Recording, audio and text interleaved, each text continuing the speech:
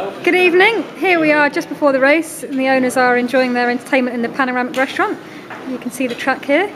It has been raining absolutely all day, and uh, it's now thankfully stopped just before Tariq Too's race. So the owners have had some drinks with the racecourse staff, and they're now about to um, enjoy some food as well. So they're very lucky.